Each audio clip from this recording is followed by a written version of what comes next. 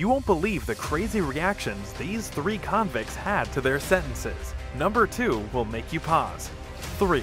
When Jaleel Hoskins was handed a life sentence upon his murder conviction, his once docile countenance switched to an expression of pure rage. He grabbed the podium and flung it at the judge. 2. TJ Lane was sentenced to life without parole after he killed people in a shooting spree.